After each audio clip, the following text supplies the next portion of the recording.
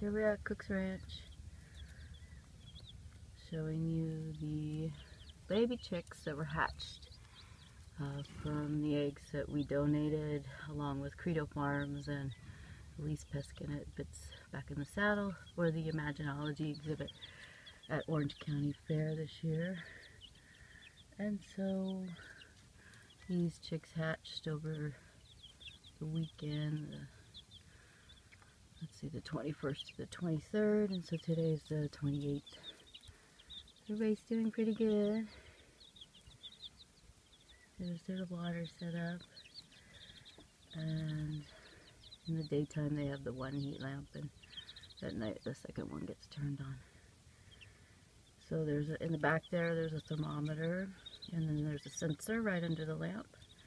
Make sure they get the proper temperature.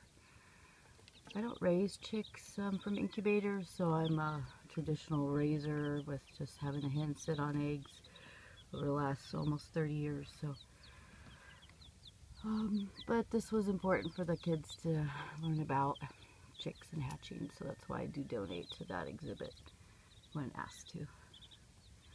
Okay, just want to give a little look-see at everybody. There's uh, the breeds involved here. There's a couple um, Barnvelders and there's Black Copper Marans and some Pearl Leghorn, the little white ones.